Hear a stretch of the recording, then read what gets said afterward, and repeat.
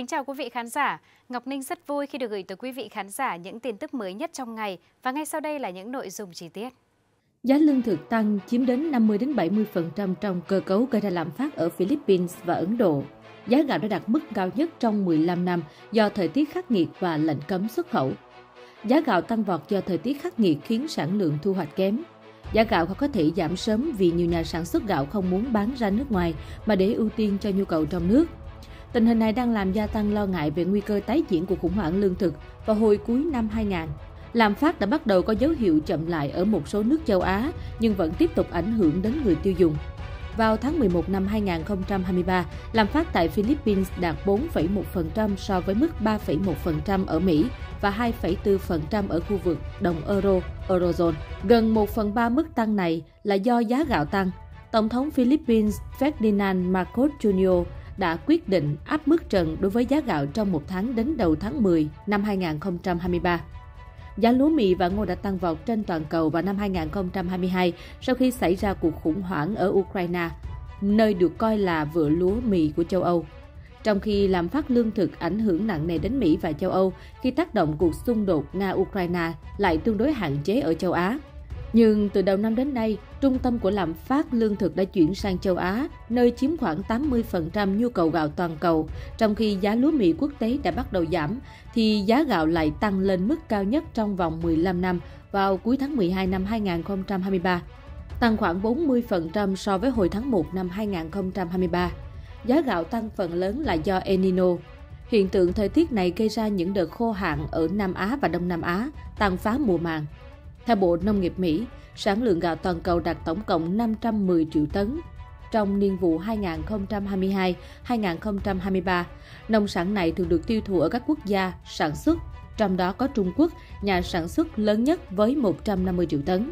Giá gạo quốc tế có xu hướng biến động mạnh do chỉ khoảng 10% sản lượng toàn cầu được dành để xuất khẩu.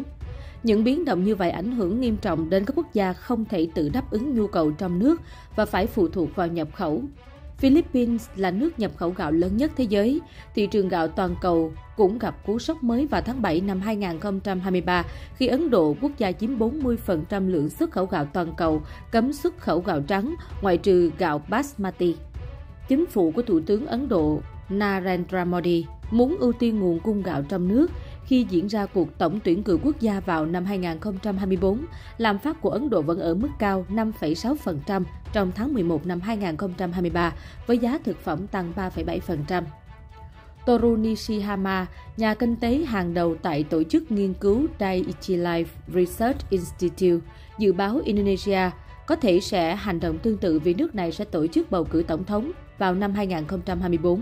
Mong muốn tăng cường an ninh lương thực khiến cho Qatar có thể chuyển sang ưu tiên đáp ứng nguồn cung trong nước, đẩy giá lương thực tăng mạnh trên thị trường quốc tế. Thế giới dường như đang sắp rơi vào một vòng xoáy tiêu cực, trong đó những lo ngại về an ninh lương thực và thời tiết bất thường khiến các nước sản xuất ngũ cốc phải tích trữ, càng làm trầm trọng mối lo về nguy cơ nguồn cung bị thiếu hụt.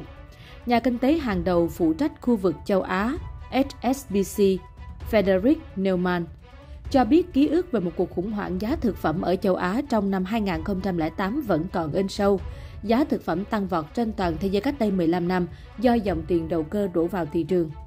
Theo Viện Nghiên cứu Chính sách Lương thực Quốc tế IFPRI, giá của nhiều loại thực phẩm đang biến động mạnh, xảy ra ở 7 trong 8 loại cây trồng chủ lực trong năm 2023 làm phát lương thực đã ảnh hưởng nghiêm trọng đến đời sống người dân ở Nam Á và Đông Nam Á, nơi thực phẩm chiếm từ 30 đến 50% tổng chi tiêu hộ gia đình so với khoảng 10 đến 20% ở các nền kinh tế đã phát triển.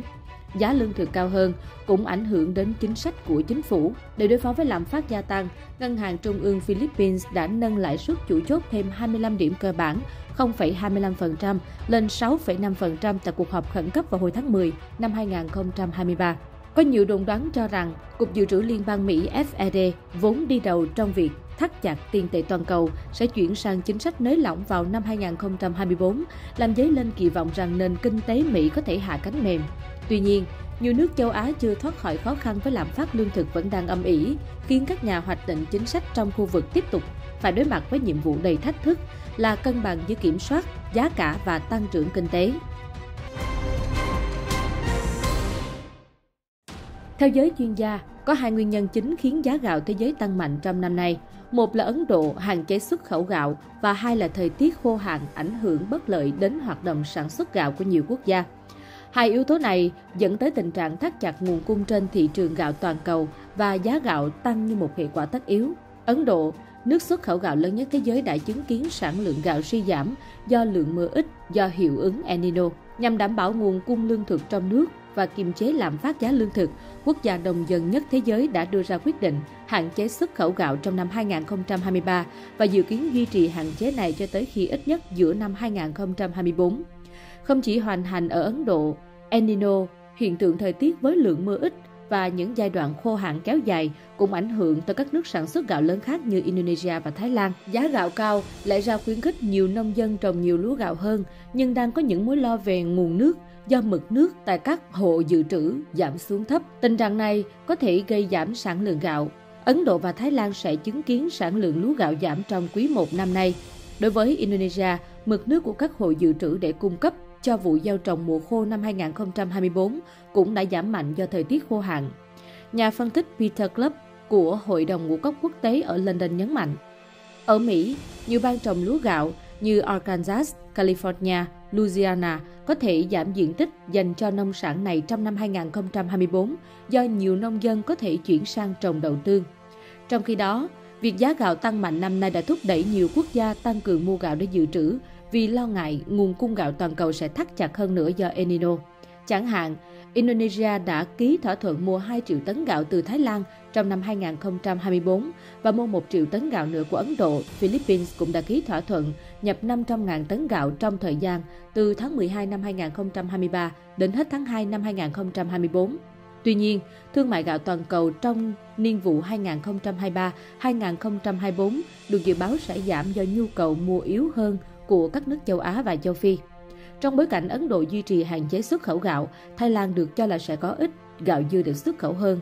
Giữa lúc thị trường vắng bóng gạo xuất khẩu của Ấn Độ, Thái Lan và Việt Nam được cho là sẽ chiếm một tỷ trọng lớn trong xuất khẩu gạo toàn cầu, giá gạo vì thế sẽ càng nhạy cảm hơn với điều kiện thời tiết ở hai quốc gia này, một báo cáo của công ty nghiên cứu BMI nhận định. Hiện tượng El Nino được dự báo sẽ tiếp diễn trong năm 2024, đặt ra rủi ro đối với nguồn cung không chỉ gạo mà các loại lương thực thực phẩm khác như lúa mì, ngô, đậu tương, dầu cọ. Trong bối cảnh như vậy, giá lương thực thế giới có nguy cơ leo thang, gây thách thức đối với tăng trưởng kinh tế và nỗ lực chống lạm phát của các ngân hàng trung ương, cũng như có thể kéo tục mức sống của hàng tỷ người trên thế giới.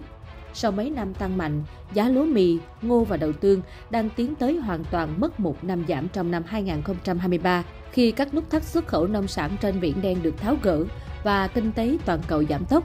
Dù vậy giới phân tích và các nhà giao dịch nói rằng các mặt hàng lương thực này vẫn có nguy cơ xảy ra cú sốc nguồn cung trong năm 2024.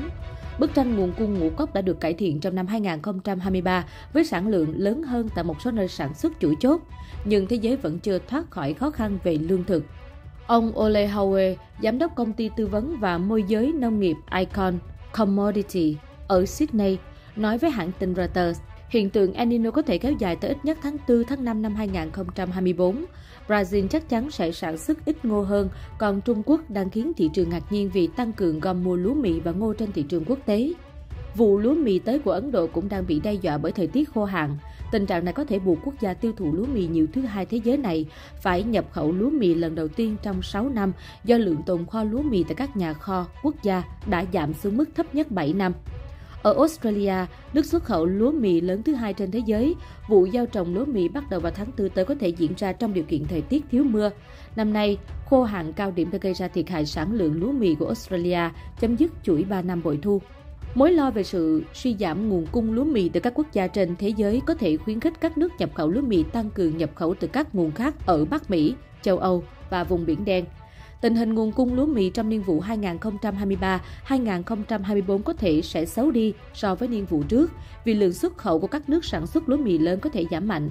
Một báo cáo của ngân hàng Commerzbank nhận định, có một tin tốt là sản lượng ngô, lúa mì và đậu tương của khu vực Nam Mỹ được dự báo sẽ cải thiện trong năm 2024, dù thời tiết biến động ở Brazil khiến một số chuyên gia nghi ngờ.